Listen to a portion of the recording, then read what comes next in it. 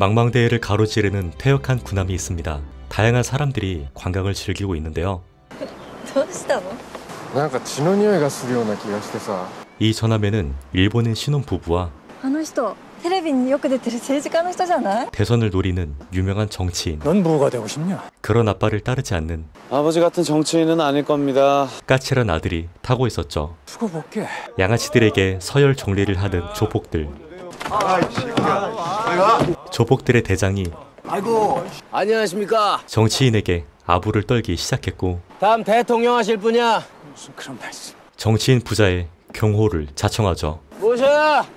이 군함엔 흙을 모으는 노인이 있었는데 뭐 하셔? 가시죠. 아들이 노인에게 손길을 내밀자 노인은 흐뭇하게 바라봅니다. 야야 비켜. 조폭은 정치인 부자를 특실까지 안내하고 좀 편히 쉬십시오. 아버지가 고용한 사람 같잖아. 그만 좀 나대라 그래. 뭐 저라면 환절에 추지 뭐. 근처를 지나던 술집 여성들이 택시를 발견하자 여기 왜 이렇게 좋아? 불만이 생겨나기 시작합니다. ねあのおじいさんずっとやってない 친절하게 말을 꺼내는 일본 여성. どうしてさっきから土をコップに集めてるんですか 노인은 이번에도 미소만 짓습니다. 어느덧 찾아온 저녁 시간. 여러분들과 여행을 함께할 입의 함장입니다. 함장과 정치인이 특식을 즐기는데 조폭이 무리하게 합석하고 같이 좀 앉겠습니다. 어, 여기 앉으시면 안 됩니다. 괜찮아요. 이들 틈에 껴서 식사를 하는데 사람들의 불만이 아, 점점 쌓이기 시작했고 저도 히도이요나 일본 남성이 불만을 제기하자 아이 새끼가 다른 사람들도 속속 불만을 토로하는데 내일부터 저도 같은 걸 먹겠습니다. 정치인은 노련하게 사태를 정리하고 해야와 함장 우리도 일반객실로 바꿔줘. 일반객실은 이미 인원이 다 찼습니다. 구조적인 문제로 특실만은 지키게 되죠. 한편 군함을 구경하던 일본인 부부 달걀을 부화시키려는 노인을 발견하는데 노인은 각종 야채들의 씨앗을 심고 물을 주며 키우고 있었죠. 밤이 되자 군함에는 도박을 시작으로 온갖 약물과 함께 매춘이 성행하는데 들어와요. 들어와서 앉아요. 배를 관리해야 할 책임자들도 똑같이 타락해버리고 일반 승객들도 서로에게 폭력을 쓰며 배의 분위기는 험악해집니다. 한편 구석에서 술을 먹던 양아치들 이들 눈에 일본 여자가 들어오고 먼저 보는 사람이 있잖아. 가만히 지켜만 보던 정치인도 마음에 들면 대령하도록 하겠습니다. 조폭의 끔찍한 제안을 능력 한번 볼까요? 받아들이죠. 양아치들은 부부의 객실을 습격하고 남자를 폭행하며 여자를 겁탈하려 드는데 조폭은 쓰러진 남자를 주저없이 살해하고 바다로 던져버립니다. 한편 근처를 지나던 아들이 현장을 습격해 여자를 구하는데 여자는 조폭에게 겁탈당하며 기절해버리고 노인은 모든 상황을 지켜봅니다. 일을 마친 조폭은 정치인 방에 여자를 눕히고 정치인도 여자를 겁탈하는데 마침 아들이 들이닥치고 아버지 지금 바빠. 일을 마친 정치인이 자리를 비우자 조폭은 마치 시험하듯 아들을 방에 넣어버립니다. 여자를 보자 고민에 빠진 아들. 아버지와 같은 짓을 저질러 버립니다. 뒤늦게 정신을 차린 여자. 바다에 떠있는 남편의 시신을 발견하고 투신을 시도하려는데 노인에 의해 다시 한번 기절합니다. 그리고 모두가 잠든 사이에 배는 하늘 높이 떠오르고 사람들은 믿지 못할 광경을 보게 되죠. 노인의 방에 들어온 여자. 노인이 종말을 준비했다는 사실을 알게 됩니다. 패닉에 빠진 승객들은 식량을 털기 시작하는데 조폭들이 모두 제압하곤 내가 직접 이 친구들과 부식을 관리할 거야. 총으로 위협을 가하며 총 넣어요. 배의 실권을 정치인이 잡게 되자 무기 될 만한 게 있는지 빨리 찾아봐. 선원들은 반란을 위한 수류탄을 준비하죠. 일단 잘 숨겨놓고 기회를 보자고. 조폭들은 어느새 군복으로 갈아입으며 하나씩만 가져가세요 많지 않습니다 하나만 더 먹을 본격적인 완장질을 시작하고 일반 승객과 달리 회식은 끝났습니다 양질의 식사를 즐기죠. 승객들은 결국 지쳐가기 시작했고 일본 여자가 어디론가 향하는데 우리끼리만 잘 먹는 게 무슨 의미가 있어 아무 소리 말고 먹어. 여자는 특시를 급습했고 これのどこが公平なんですか 아들이 제지에 나서는데 그만하세요 왜 이래요 공범끼리 일본 여자는 한국말을 알아들었고 고매 아들의 위선에 크게 실망합니다. 한편 조폭은 정치인을 불러내곤 총까지 건네주며 충성심을 어필하는데 그때 식량을 관리하던 부하가 양아치들에게 식량을 빼앗기자 정치인은 처음으로 폭력을 행사하고 그만해 발 부하들에게 총을 들이밀며 앞으로 잘하도록 하겠습니다 본 모습을 드러내기 시작하죠. 노인과 함께 작물을 돌보던 여자.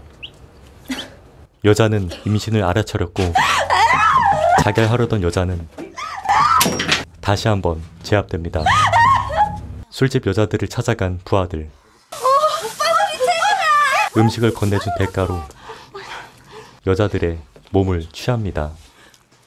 결박된 채 정신을 차린 여자. 本当に高橋さんの子供かもしれないですよね 정치인 아들의 음식도 받아 먹으며 약간의 희망으로 아이를 키우기로 합니다.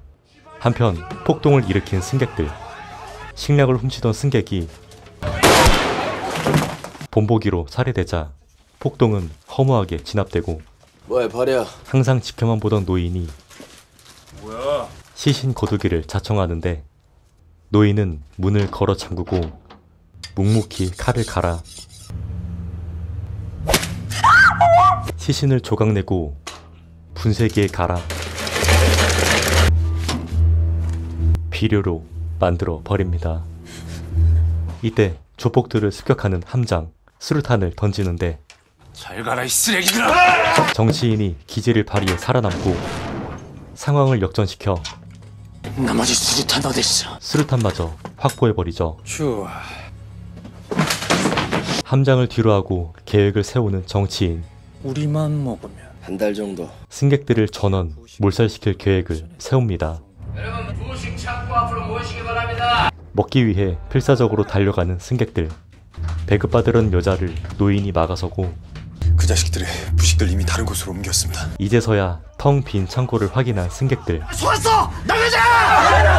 하지만 대부분의 승객들은 이곳에 꼼짝없이 갇히게 되었고 수리탄. 정치인은 이 끔찍한 계획을 몸소 실천하는데 열어. 모든 구역을 몰살하고 탈출한 일부의 승객들에게는 도망친 놈들 빨리 죽여!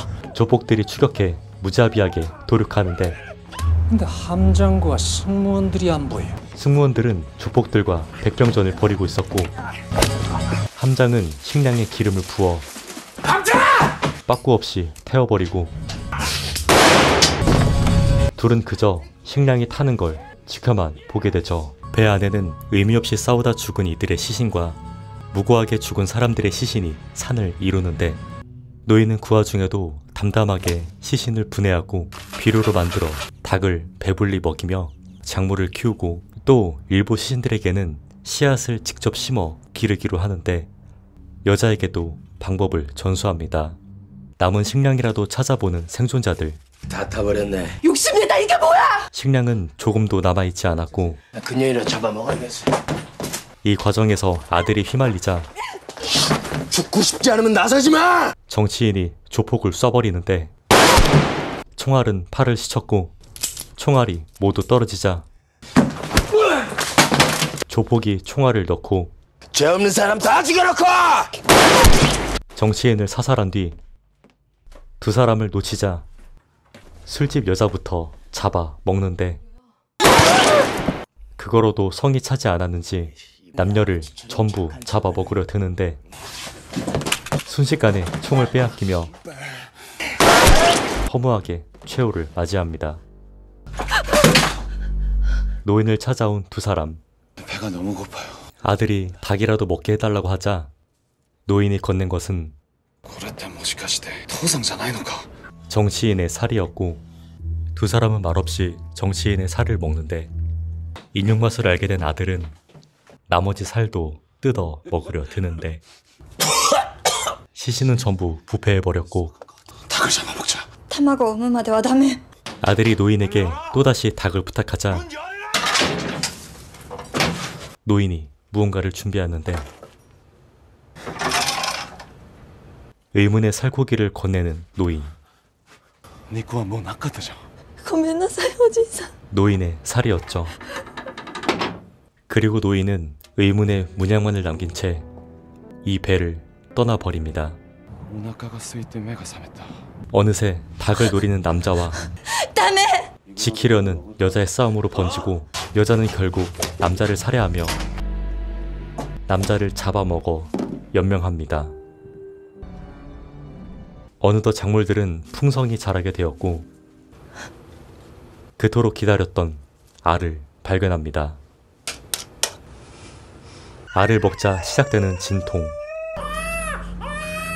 귀여운 아들과 함께 행복한 나날을 보내는데 이 터전은 시신 위에 만들어진 곳임에도 모자를 행복하게 하기엔 충분한 곳이었죠.